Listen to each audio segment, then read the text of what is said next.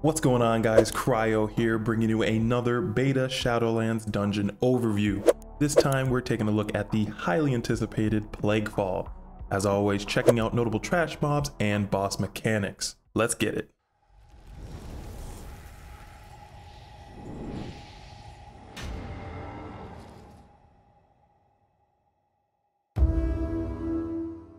On your way to the first boss, you will encounter a fork in the road. As it stands, taking the right path is far more preferred, so obviously we're going left first. Plague Borer, a pretty easy mob to deal with as long as the tanks maintain aggro and remain in melee range of them. They will deal minor physical damage with boar flesh, but keep an eye out for Rolling Plague. The boar will roll or charge at a target, dealing nature damage along the way. Fen Hornet will periodically cast Fen Stinger, dealing a burst of damage and poisoning its target for 6 seconds. This is not interruptible, but you can stun or displace the mob. Hatchling Nest. This is the main reason players skip this path. These nests will continuously spout out fen hatchlings and unstable larvae.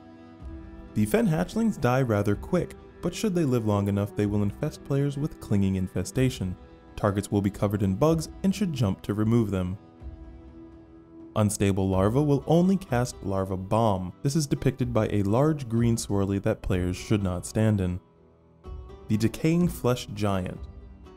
This monstrosity can up the difficulty of your pulls really quickly, so you can wait for him to pat completely by, or wait until he is in the middle of the path and pull him alone. Party members will want to interrupt creepy crawlers. Like it sounds, this mob will spawn spiders. With target caps and AoE threat being an issue, try to prevent this as often as possible. If you look closely, you will notice toxic pools dropping off the giant. Solid rule of thumb in this dungeon if it's green and not a druid's efflorescence or a shaman's spirit link totem, do not stand in it. If you were to start off on the right path instead, you'll be faced with Mire Soldier. These little mushroom guys will melee tanks with Mighty Swing, nothing too scary. Fungalmancer. This mushroom requires more attention. Players will want to interrupt casts of Wondergrow ASAP. If successful, this will buff all nearby enemies with a 15% damage increase. The second ability to look out for is Binding Fungus. This channeled ability will root targets and cannot be interrupted, however you can stop it with a stun or displacement. Fungi Stormer. These dual-wielding mushrooms will continuously cast Fungi Storm, a flurry-like whirlwind ability that deals physical damage. You can stun or displace it, or just simply move out of it. Pestilent Harvester. Our final mushroom mob here will have two main abilities. Hurl Spores applies a nature dot to the target, but it can be interrupted. Doomshroom cannot be interrupted in the traditional way, and should this cast complete, a giant mushroom will sprout up and begin to explode. Move out of the obvious green swirlies. Gushing Slime. Depending on the level of difficulty dungeon you are attempting, it may not be wise to pull all of these slimes at once. They will inflict nature damage to everyone within 10 yards every 1 second. Furthermore, Upon death, the slimes will explode and leave behind toxic pools, so watch your feet.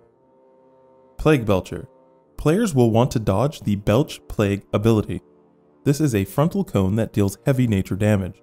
Tanks will want to keep an eye out for the ad spawned from Beckon Slime. If the slimes reach the Belcher, they will be consumed, healing the Belcher for a portion of his health. These slimes can be rooted, slowed, stunned, and banished, which is good practice for the first boss. Our first boss is Globgrog. This encounter is certainly interesting, I really enjoy the concept, but the execution could use some tweaking. If you want to hear me rant more about Shadowlands dungeons, be sure to stop by the stream sometime. But anyways, onto the mechanics. The entire party will need to position themselves semi-close to the boss, this is for two reasons. The first reason is Plague Stomp. Globgrog will slam his foot down, dealing a burst of physical damage, knock players backwards, and apply debilitating plague. This dot will reduce players' movement speed by 30% and deal ticking nature damage. This can and should be dispelled.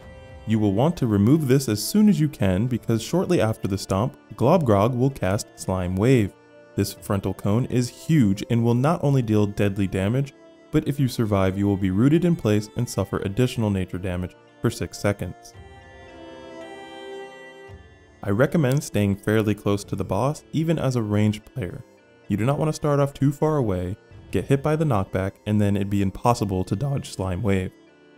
There are no tank busters, but that does not mean you can sleep on this one, tanks. Upon reaching 100 energy, the boss will beckon slime, similar to the Plague Belcher. The tiny morsels will slowly creep towards the boss and you do not want him to consume these.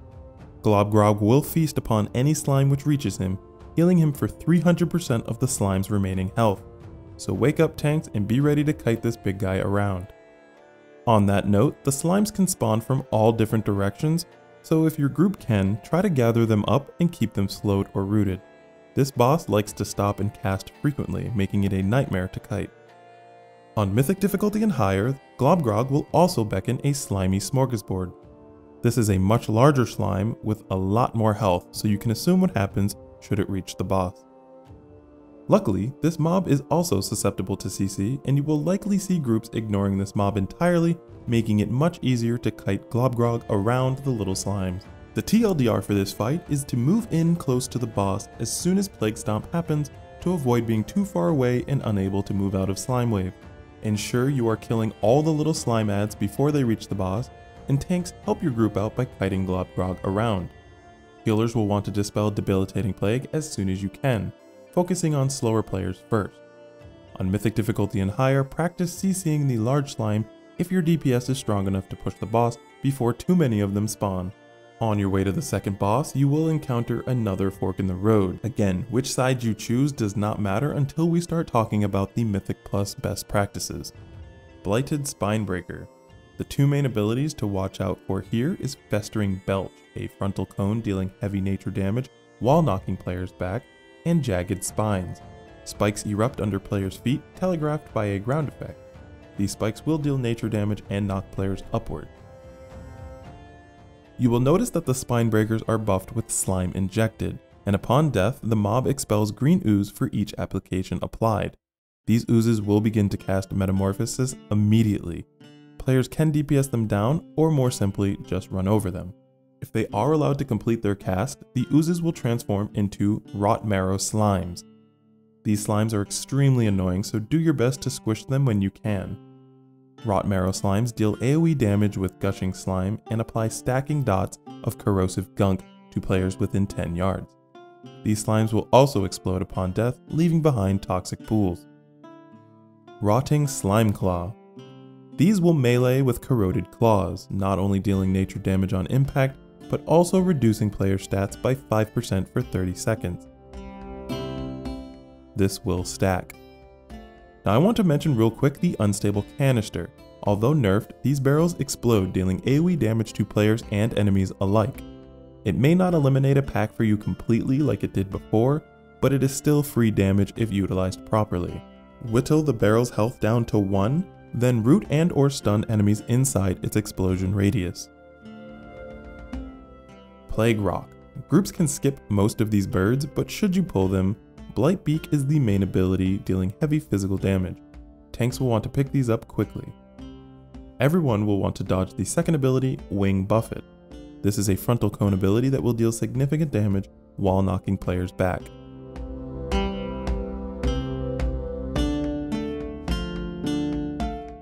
If you head left, you will encounter a Plague Binder. Pestilent Bolt is their generic spellcast that deals minor nature damage. You can interrupt these if you want. Gripping Infection targets a random enemy, inflicting nature damage every 2 seconds and rooting them for 6 seconds. This you should probably most definitely interrupt. If you go right, you will encounter Pestilence Slime. This particular slime will mainly cast viral globs, hurling slime globs at random players that deal nature damage. This is interruptible.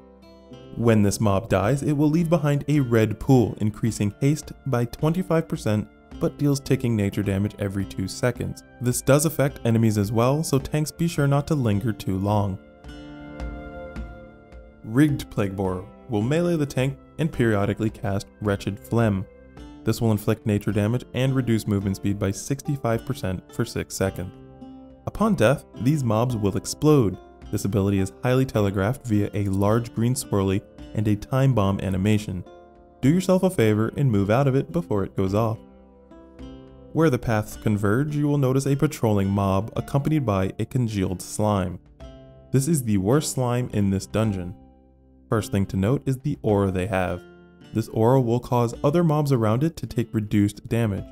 If you can, keep the slime away from other mobs with CC or burn it quickly. Second, these slimes will cast Withering Filth, causing the slime to lunge at a player, inflicting nature damage and reducing haste by 45% to all players within 5 yards of the impact. If you are targeted, move away from your friends. It's best to pull this patrol before engaging the larger group. Fun fact, as of now, you can skip these next few mobs by running around them, but in case you don't. Slime Tentacle. Players will want to ensure that someone is always within melee range of the tentacle to prevent cast of Vile Spit. This will deal heavy nature damage and leaves a nasty dot. Ideally, you will want the tanks to be the closest due to Crushing Embrace. The tentacle will pick up its prey and deal physical damage every 1 second for 10 seconds. Rigged plague borers will be continuously running into the group. Do your best not to kill them in awkward places. Virulax Blightweaver. This mini boss of sorts will cast the generic Pestilence Bolt. Kick as many as you can. Wasting Blight targets random players and will deal some nature damage, but also reduces the target's haste by 50%. Obliterating Ooze is a large AoE burst dealing nature damage to anyone within 10 yards. This is an obvious large green animation, making it very easy to dodge. These next few trash packs are repeat mobs, but it is important to note that the boss will be leaping around the room in a counterclockwise fashion. Be on the lookout for him while pulling. The platform you see us pulling to here is always safe, meaning the boss will never leap here. Ranged interrupts and grips are your friends. For the last pack, it is best to drag the mobs up the stairs a bit while you dispatch of them. This way, you will not pull the boss prematurely should he leap back before you are finished. Dr. Ickus. This boss will either remind you why you play a mobile class, or make you want to. As we saw previously, this boss loves to leap around and continues to do so throughout the fight. There are a few moving parts during this encounter, so let's begin. Tanks, there is a tank buster of sorts, Slime Injection. Dr. Ickus infects the tank inflicting nature damage and applying a dot lasting 1 minute. This effect does stack. This should be dispelled ASAP, for when removed, this aura spawns an erupting ooze for each stack applied. This ooze should be stepped on, and in doing so will cause it to burst, but only inflicting damage to the player who squished it. As mentioned before, the boss will randomly leap to another platform, and on said platform there will be a cauldron. Dr. Ickus will throw in a concoction and spawn a plague bomb. Players will want to focus this down first as it will deal massive nature damage to everyone, likely resulting in a wipe. On Mythic difficulty and higher, Dr. Ickus also spawns a congealed contagion. Remembering that these slimes reduce damage taken of other mobs by 75%, tanks will want to do their best to keep it away from the plague bomb for as long as possible. This may be difficult since simultaneously Dr. Ickus will be leaping to the furthest target with his Slime Lunge ability. Targeted players will want to move away from the impact area or risk taking heavy physical damage and being knocked back. Also also on Mythic difficulty and higher, upon landing Dr. Ickus will radiate slime waves in four directions. Make sure you are more than 3 yards away from the impact site and dodge the wave. As an added bonus for tanks, once Dr. Ickus is done leaping around, he will stand still and repeatedly cast Burning Strain. Dr. Ickus infects all players, inflicting nature damage on impact and applies a dot dealing damage every 1 second for 10 seconds when not engaged in melee combat. This effect does stack. Groups will want to ensure someone is always within melee range, but remember slime injection can hurt, so ideally the tank should do it. Last tidbit regarding Congealed Contagion, this mob will also continue to cast Withering Filth, making it that much more difficult to keep it away from the Plague Bomb.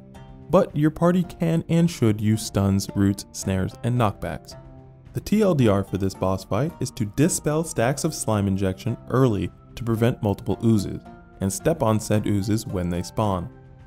Focus down the Plague Bomb first, followed by the congealed slime, all while dodging Dr. Ickus' slime lunge. Always have someone, preferably the tank, within melee distance of the boss to prevent casts of burning strain.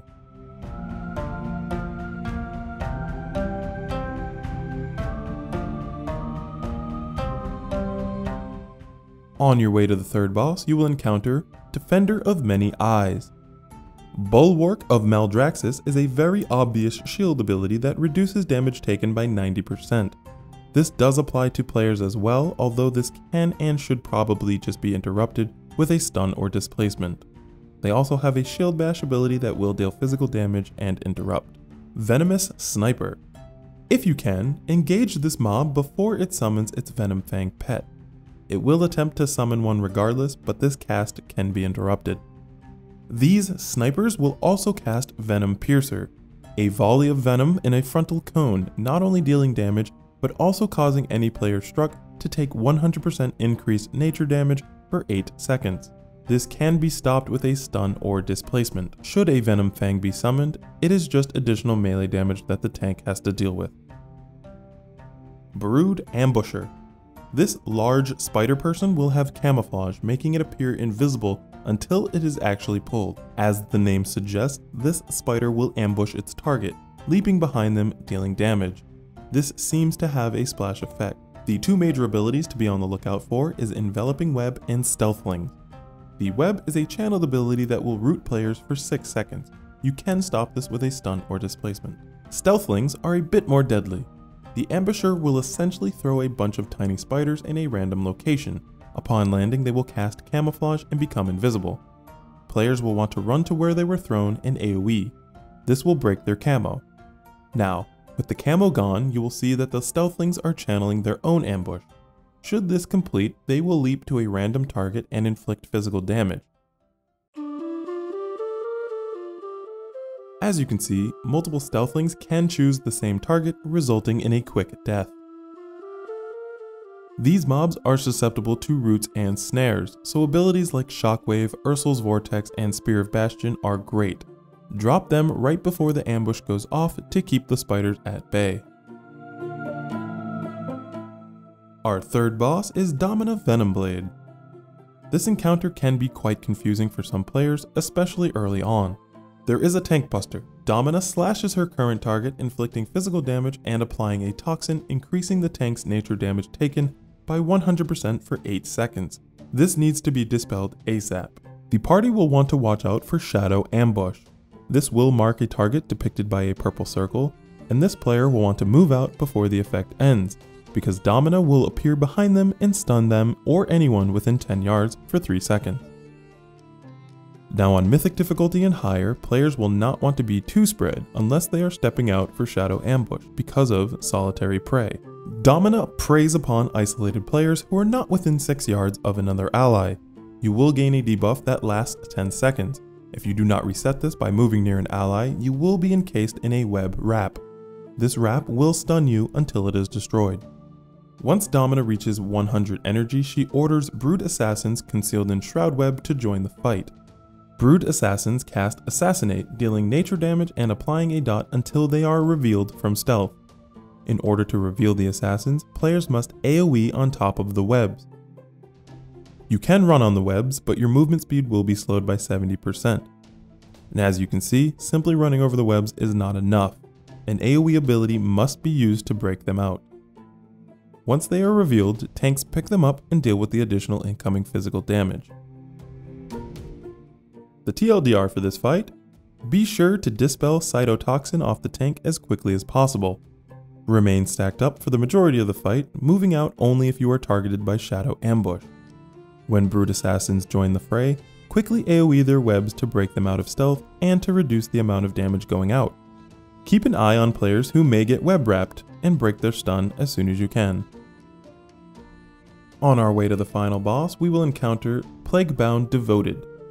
Do not be fooled by these boogermen. These small mobs will slowly walk towards whoever has the most threat. If you let them get within melee range, they will punch you extremely hard, and it is likely you will die before you realize what is happening. It is best for tanks to snag aggro on them as best they can, and let range players whittle them down. The larger mobs will deal moderate physical damage and move at regular speeds, but these can be face tanked. Ichor Bileflesh. This mob will cast the generic Pestilence Bolt, feel free to interrupt it. The Bileflesh will also cast Oozing Carcass. This is what turns the little boogermen into larger boogermen. Finally, Ichor Bileflesh will ghost step to a random location around the room, although it is not very random as it seems he always goes to the back right pack and then to the left pack. Our final boss, Margrave Stradama, will spawn as soon as the room trash is cleared, so mind your position if you do not wish to pull early. This fight essentially has two phases, one where Margrave is present and one where she submerges. Let's talk about while she is present. First things first, someone must always be in melee range. Like most immobile bosses, she will cast a deadly ability that will wipe the group if you are too far away. This is Plague Rot. This dot inflicts damage every 1 second for 30 seconds and stacks. There is not a tank buster per se, however Margrave will summon a Malignant Spawn. The Malignant Spawn will cast Touch of Slime, slamming the ground inflicting nature damage to players within 4 yards of the impact. This is not split, so there is no need for everyone to get hit by it. However, if this attack does not hit any players, it inflicts a deadly amount of nature damage to the entire party. Tanks should be the only players standing inside it, though in most groups you will see everyone stacked due to the next mechanic Plague Crash. Giant booger tentacles will spawn in a certain pattern and after a few seconds slam into the ground dealing heavy nature damage to anyone struck. Avoid these at all costs. Throughout the fight, the boss will also cast Infectious Rain. This torrent of plague deals damage every 2 seconds for 6 seconds, coating all players in filth, applying a disease that deals additional nature damage for 6 seconds. This can be dispelled to manage stacks. Now, upon reaching 66 and 33% health, Margrave will sink beneath the slime in the center of the room. The main objective in this phase is to successfully dodge booger tentacles. On Mythic difficulty and higher, Margrave will additionally summon Plaguebound Devoted during this phase. Keep in mind that they move very very slow and can be CC'd, but still hit ridiculously hard. Ranged should take care of them whilst dodging the slams. It is important to note that after 33%, these devoted mobs will continuously spawn until Margrave is defeated. As if that's not bad enough, after 33%, Margrave will no longer summon malignant spawns, but you will have to deal with the booger tentacle dance. This is why it may behoove your party to use Lust here as opposed to on the pull. Quick additional notes on the Tentacle Slam dance. Every pattern will result in a total of 10 slams, there are three set patterns, though their direction and in which order they spawn can vary. As long as you react quickly, you should have ample time to get to the safe spot. Pattern 1. 5 synchronized tentacles slam in an every other fashion, followed by the remaining 5 synchronized slams. This is the easiest to dodge by far since it is a simple sidestep. Hey, what's going on everybody? Cryo here with a quick amendment. There's actually four patterns with the slime tentacle dance. A six and four pattern. Six tentacles will spawn parallel to each other with two openings on the end, then followed by four tentacles filling in those spaces. This one is fairly easy to dodge as you just move into the empty space first, as soon as the first six slam, move into their position after.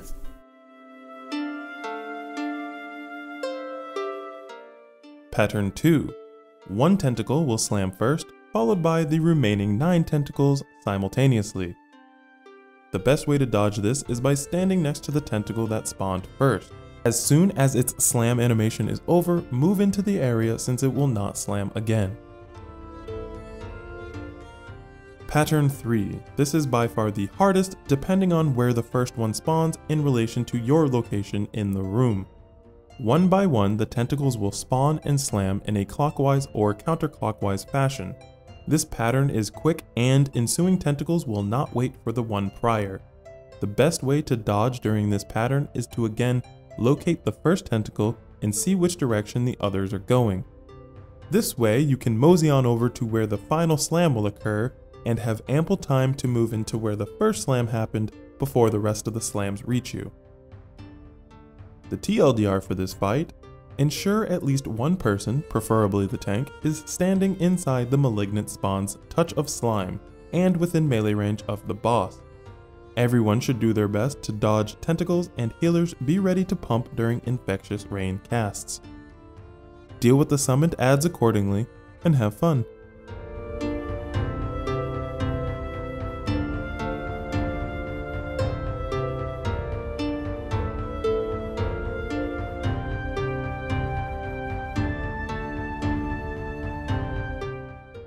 That's it for this guide, and I want to thank each and every one of you for stopping by. If you enjoyed the video, don't forget to leave a big thumbs up, as it's the easiest way to provide me feedback. Of course, any additional feedback, questions, concerns can be left in the comment section down below, or feel free to join my Discord, link in description.